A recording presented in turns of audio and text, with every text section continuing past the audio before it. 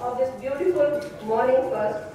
I now request Shama Zabin, participant of the PSUC course, to please welcome Dr. Sanjeev Chopra with a bouquet.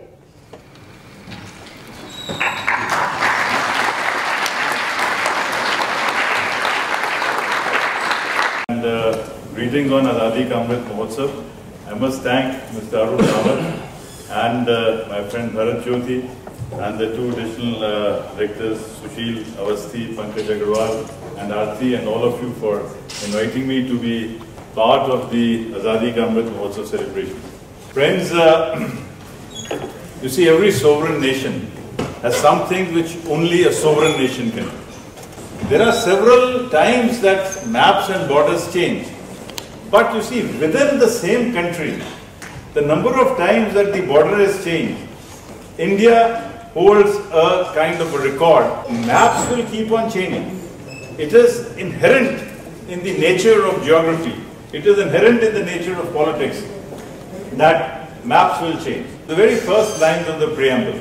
The preamble says, we the people of India having solemnly resolved it.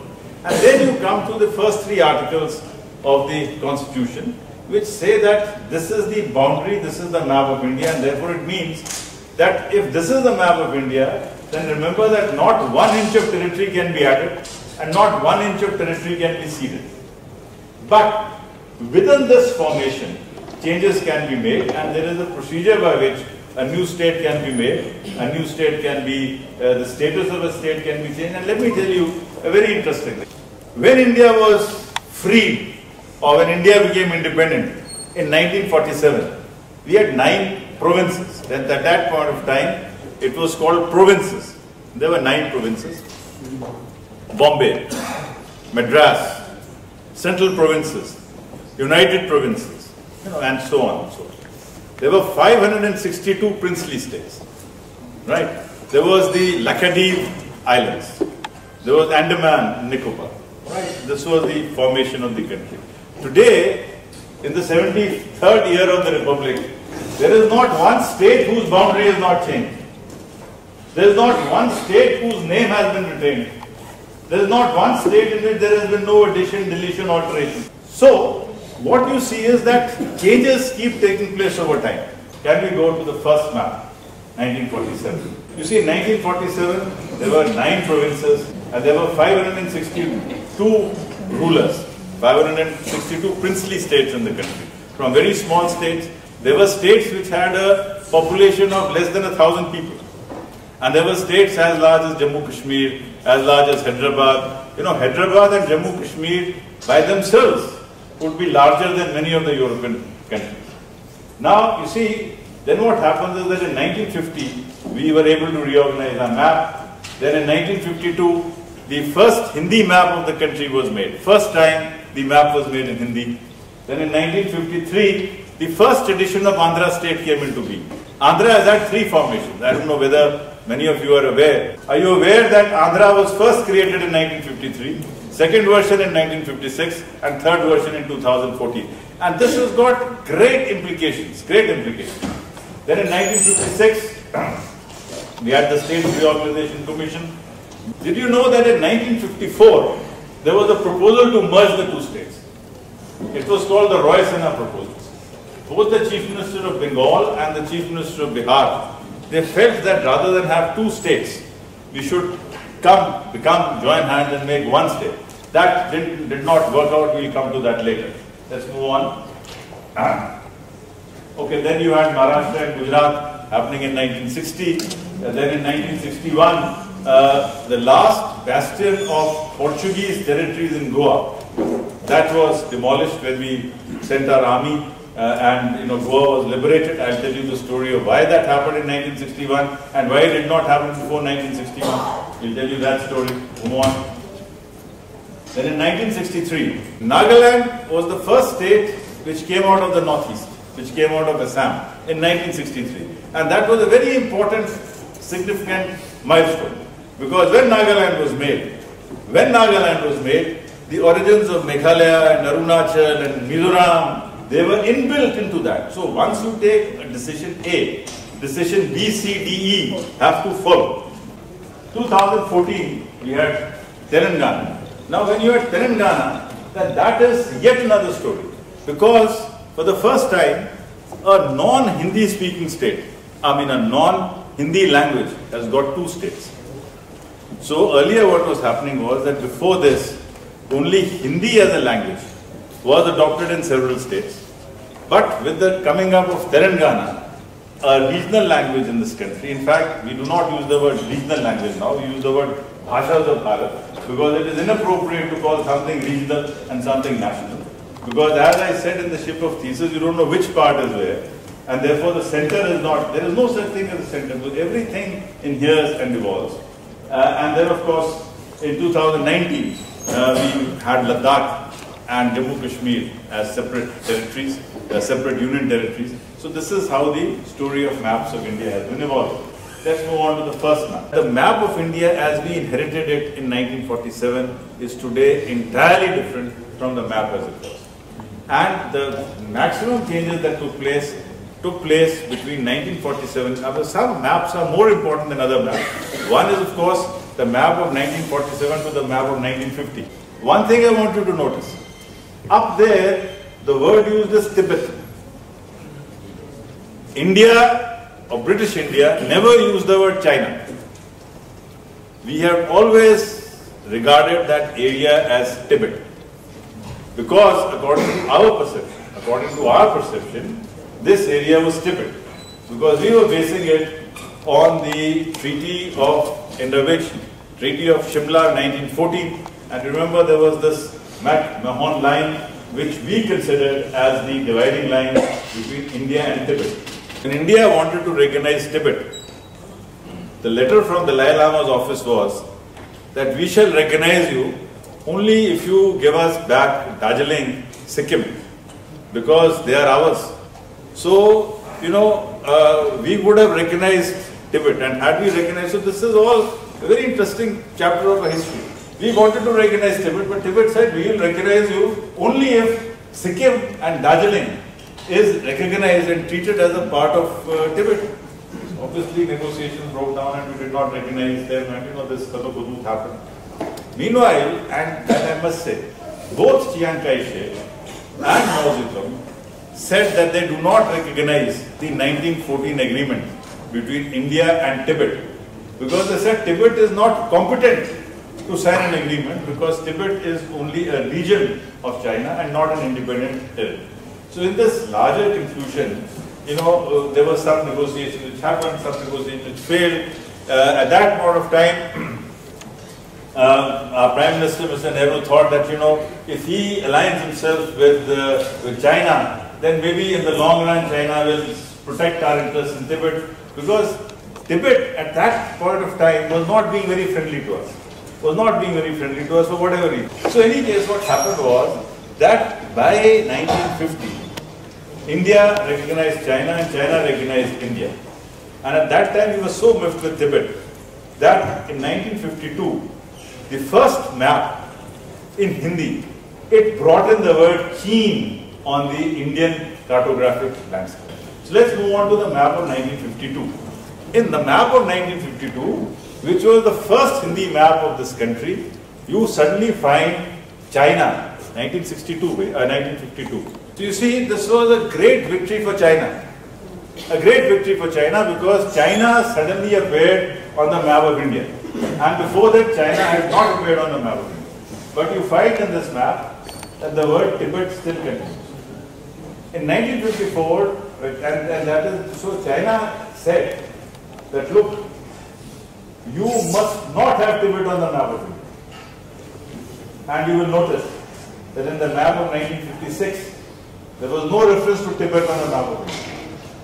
So, um, this is the map of India in 1952. It was decided that the 13 Telugu speaking districts of the erstwhile Madras state would be made into what is now called the Andhra state. Now there were Telugu speaking areas in the Hyderabad state also, in the erstwhile Hyderabad. But no decision could be taken on that, but one decision was taken.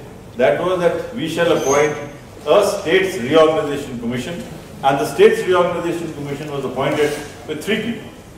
The first of them was Justice Fazal Ali, the second was K.M. Panikkar and the third was H.N. Kunzru. After this states reorganization commission was, was constituted, then this commission went around the country. They received lakhs of representations, they traveled the whole country and they came with certain conclusions.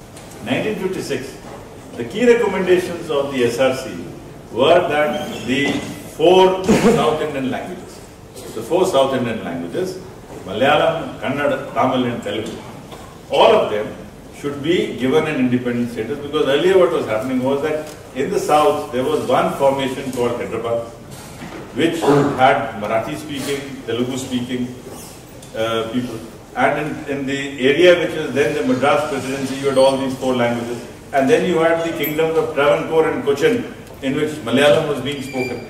So the recommendations of the states reorganization. So in the map of 1956, this is 56, right? Just go down. Okay, now one more thing I want to show you. On this map of 19, uh, Tibet disappears. This go, just go up, just go up, up super go, China, China. Tibet has disappeared from India's political imagination. There were children who would be in ninth or tenth standard or you know would be in their things at that point of time. They did not they did not see Tibet as a neighboring country. They saw China as a neighboring country. Dr. Ambedkar had a comment to make. He said that you have done balkanization of the south and consolidation of the north. Ambedkar said that you have strengthened the Hindi speaking belt of the north and for all times to come, political power will now remain in the north. Of course, the present Prime Minister has shifted that paradigm. Gujarat is almost Hindi speaking. You know, but in the sense that what he meant was that, you know, this is the balkanization of the south and the consolidation of the north. Ambedkar had another very interesting suggestion. He said that why don't you make Hyderabad the winter capital of the country? In 1960, Maharashtra and Gujarat, they were separated. Because, you know, the logic for not separating uh, the Bombay presidency was that the capital of Bombay, Bombay was actually controlled by the Gujaratis. I mean, the business was with the, was with the Gujaratis, the population was Marathi, and there was a lot of uh, angst between these two communities. There were many proposals at that. One proposal was that why don't we make Bombay into a union territory? And then minus Bombay, you could have Gujarat and you could have Maharashtra and you'll have Bombay as a union territory. But the Marathas did not like it at all. They said nothing doing. And in fact, C.D. Deshmukh, C.D. Deshmukh, who was then the finance minister of the country, he resigned. He said that, you know, the Prime Minister has made a statement without reference to the cabinet, I don't accept. So he resigned from the from Nehru's cabinet on the basis uh, that, you know, he had taken an arbitrary decision. But what happened was that Maharashtra and Gujarat were created in 1960. Unfortunately, it led to a lot of deaths. But finally, again, and that is again the strength of this country, that once there is a, you see, another thing, another very interesting thing happened in 1960. And that shows that political parties cannot control their local parties. At the national level, neither the Communist Party of India, nor the Jana Sangh, nor the Congress wanted uh, Gujarat and Maharashtra to be divided. But such was the popular flow of events that cutting across party lines, the Samyukta Maharashtra Parishad was made, the Maharashtra Coordination Committee was made, and the Gujarat uh, committees were made. So they defied their political parties. all political parties, again, it's on the record, that all dominant political parties in the country did not want Bombay state to be divided. But the ground level, uh, you know, uh, contest for these two states was so intense that they had to accept uh, this separation. And Bombay, of course, uh, Bombay continued to be part of Maharashtra. Now we move on to 1961. 1961 is important because Portugal, you know, you see this black tape, just, just pura.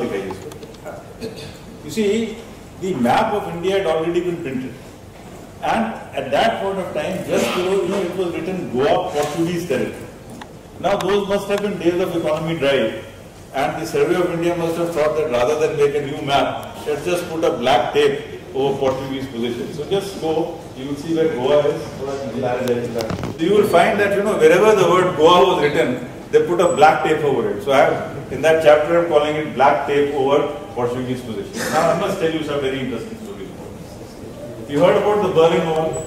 Now, you will wonder what is the connection between the Berlin Wall and the liberation of Goa.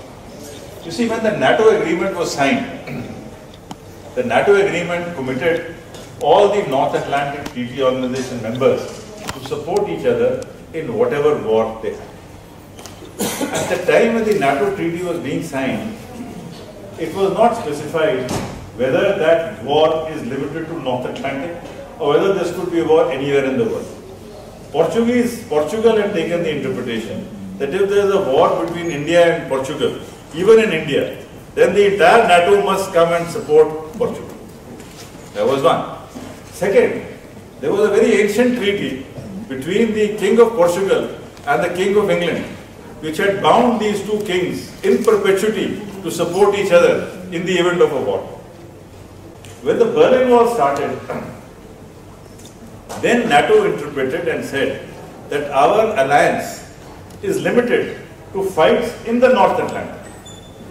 And the moment that decision was taken, within 48 hours, Mr. Nehru had declared in the House, in the Parliament, that now we will be sending our troops to liberate Goa. Now we move on to 1963. you see, what had happened was that the States Reorganization Commission was of the view that states must be financially and administratively viable. They were in favor of larger states. So they said that is the reason why they did not accept Punjab's division. That is the reason why they did not want Assam to be broken up because they felt that a small state would not be administratively viable. But there was a long-standing agitation of the Nagas. And uh, to cut a long story short, it was felt that in order to settle the Naga dispute, in order to settle that issue, we will create, I mean, so parts of Tuensang, Uh, parts of the NEFA and parts of the earlier districts of Nagaland, they were made into a state with less than 3 lakh population. At that very point of time, it was clear that the state may not be financially viable at all. It will continuously depend on assistance from the government of India.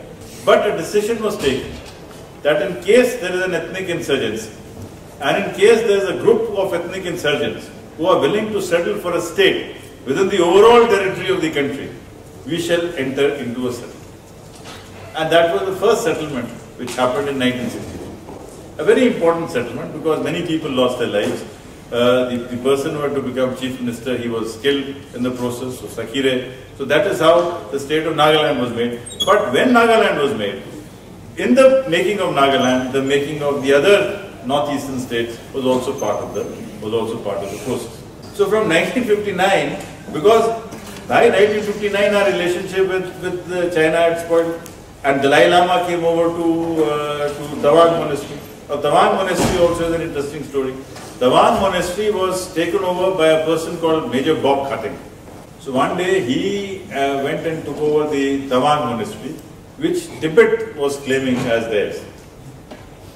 So because he took over the Tawang Monastery with the support of Jairam uh, Das Daulatram, who was then the governor of Assam, of course Nehru was slightly upset. He said that why have you taken over this area without... But they took over that place and that was very good because, because Tawang was uh, became a part of India, that is why it was easy for Dalai Lama to, to be rescued and to be brought over here. So that's another story of. Uh, so Bob Khathing had a role even in the in the settlement of the Nagaland dispute. He was a great, in fact, the only person who saw service in the army. He was a major in the army. He had been in the Indian Frontier Administrative Service. He became the chief secretary of Nagaland, and then he became our ambassador to Burma, which was, I mean, then now Myanmar, then Burma.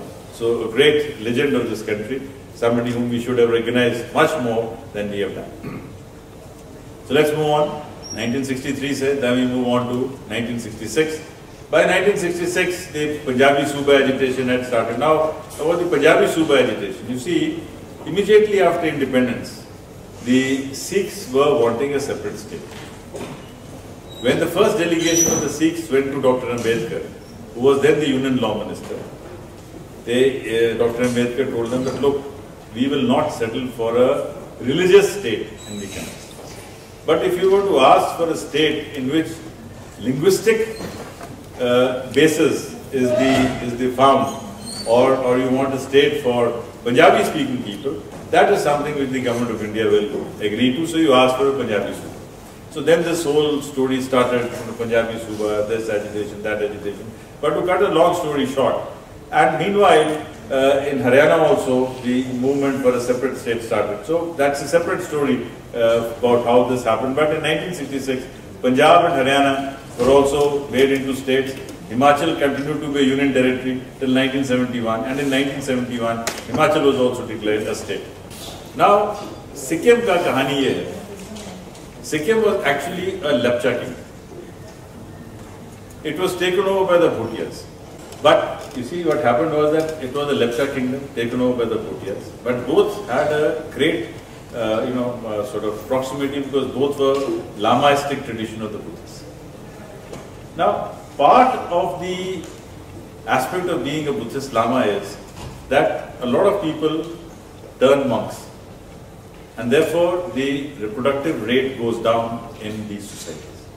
It is also possible that given the harsh geographic conditions or given the harsh topographic conditions, Lamaism or monasticism had become a way of life because more than that, perhaps it may not have been possible to sustain. That could have been one of the reasons why. But to cut a long story short, in 1870s, these uh, large monasteries, when they found that they are not in a position to cultivate the land physically, so they invited the Nepalese to come and start cultivating their lands. So the first set of about 5 to 10,000 Nepalese moved into the area which is now Sikkim. By 1900, the population of Nepalese started to grow because they were not uh, in the Lamaistic tradition. They were, uh, they had many children. And by 1947, 60% of the population of Sikkim was Nepalese and 40% population was 20% Lepchas, 20% Bhutias and 60% Nepalese. And the population of Nepalese was on the rise, whereas the population of Bhutias and Lepchas was stagnant or becoming less. Now the Chogyal, the assembly that the Chogyal had created, that had 60 seats.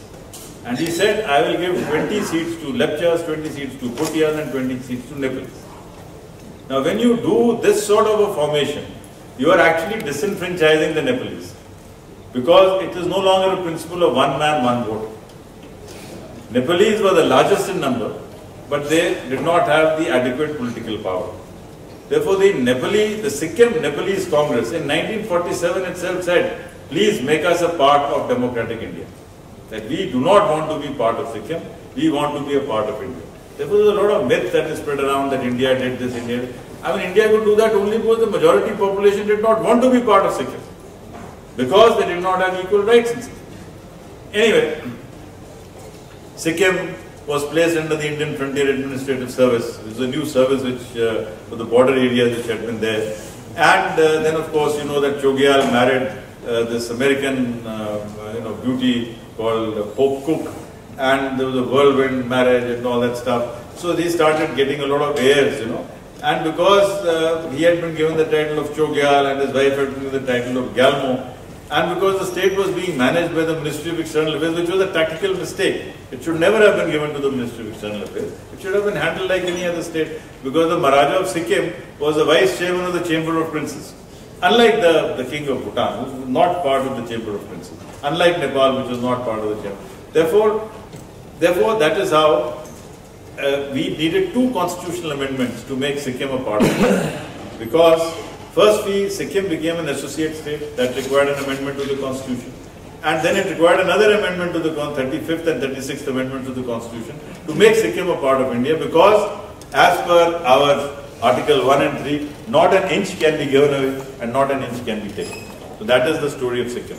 Now you see, the next major change that happens uh, is the formation of these three states of Uttarakhand, Jharkhand and Chhattisgarh. Now remember that at some point of time, the Bharatiya Janata which is the predecessor party, sorry, uh, predecessor party to the Bharatiya Janata Party, they were against smaller states. They were against smaller states. And their logic was that that you know you should have large states, India should not be divided. But when it came to Chhattisgarh and Jharkhand, it was realized that the demographics of these states have changed completely. They, had, they were no longer tribal states, typical tribal states in that sense because a lot of projects had happened. So new identity, a new Jharkhandi identity, a new Chhattisgarhi identity had started happening. So that is one story. And in the case of Uttarakhand, it happened because of the Mandal Commission. You see, as per the Mandal Commission, seats had to be reserved for the OBCs. Now in Uttarakhand, there are no OBCs. Uttarakhand is a Thakur, Brahmin dominated area. There are about, Sir Rawat will tell me about 40-50% Thakurs, more than that. And about 20-25% Brahmins, about 11% scheduled castes, about 5% scheduled tribes, and OBCs would be just 1 or 2%. 3% at best. That too in Udham Singh Nagar and Haridwar, which were not originally thought to have been part of Uttarakhand. Right. The original concept of Uttarakhand, where the Chipko movement was there, or the or, or what the UKD was asking for, did not include Udham Singh Nagar. So in that formation, but because of the Mandal Commission, 27% seats had to be reserved in the government for OBCs, which would have meant that for all the examinations that would be done in UP, there would have been a major induction of the of the non-Uttarakhandi population into Uttarakhand. And till that time, Uttarakhandis had been the dominant people in even the UP secretariat because they were more educated. Because the education levels in Uttarakhand were better than the education levels in say Meerut, Saharanpur, now Balia and all these places. So whereas earlier all the Uttarakhandis were dominating UP because of the Mandal Commission reservation, UP plainsmen would have dominated the uh, Uttarakhandis. Therefore, it was to protest against the Mandal Commission. Mandal Commission is very clear that in Mandal Commission it will be on the basis of the population of the state. Right? So the state population became the dominant factor and that is why at, if Mulayam Singh at that point of time had said that all right for these hill districts the Mandal Commission will be kept in abeyance, then maybe Uttarakhand would not have been made. We don't know. And then the the, the way in which the agitation was treated, the way in which the agitation was treated by a regional party. You see, there is also a difference between regional parties and national parties. You see, no offense meant to Mamata Banerjee or to Mr. Stalin or to Mayawati or to one of the regional or to Akali but they have no base outside the state. And therefore, the way they will look at a problem is very different from the way the BJP or the Congress will look at a problem. Of course, these days the CPI and CPI are no longer very dominant parties, but at some point of time, they were also dominant parties. The way a national party, which has to fight elections in five states, their view on a subject will have to be moderated and would have to be calibrated. Uh, because it cannot be just a one. Mamata Banerjee can take, Mamata Banerjee, for example, takes the view that I will not share Teesta waters with Bengal, with Bangladesh. Because she is only looking at, at, at Bengal as a constitution. Whereas from the point of view of the nation, it is Bangladesh has got a border not only with Bengal, it's got a border with, uh, with Assam, it's got a border with Tripura, it's got a border with, with many northeastern states, right? So India's perception of the India-Bangladesh problem would be very different from the perception of a state chief minister on that same issue. So this is how the 2003 states were made. In 2014, you had Andhra Pradesh, Telangana again getting uh, separated because of the same. Again here, the issue was one of, of development. The issue was one of how do you, and more than development, it is also a question of how much share do you have in the political party. At the end of the day, everybody would like to develop, but everybody would also like to have a share in the political power. Right? So that is uh, 2014, the separation of Telangana.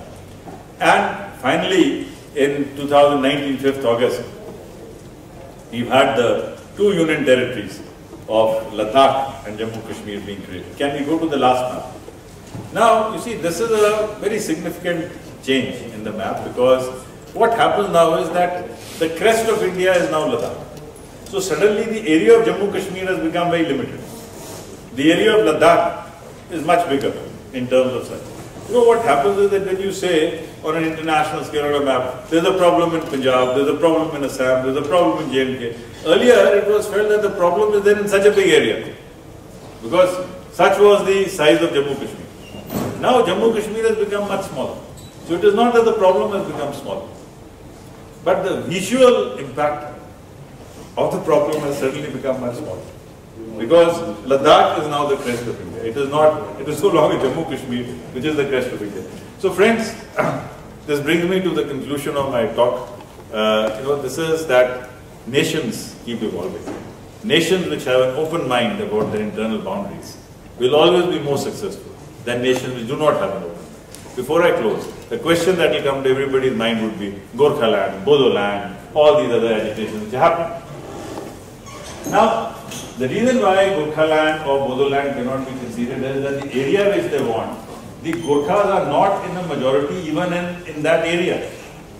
So you cannot concede an area. See, you can concede Punjabi Suba only if the majority population in the geographical area that you want to call Punjabi Suba would be Punjabi speaking. Now if Punjabi Suba was to say that no, I want to include parts of Himachal Pradesh, Himachal will not want that. Punjabis might want a greater Punjab with Himachal being a part of Punjab, but why would Himachal want to be part of Punjab? So when the area that Gorkhaland is demanding, or when the area which the Bodos are demanding, even in the area in which they are demanding, now historically, yes, it could have, it's a fact that historically it could have been there. But then so many things have changed. Take Cooch Behar for example. Cooch Behar was actually a Koch, tribal district. But after the after partition of the country, such was the influx of the uh, of Bengalis that it's become a Bengali district now. So now asking for Cooch Behar to be part of Bodoland, I mean historically yes, at some point of time uh, were Bodos, but not today. Today 90% of, uh, not 90 but about 80-85% uh, of Cooch Behar is, is, is Bengali speaking. So it's a dynamic situation, it's an evolving situation.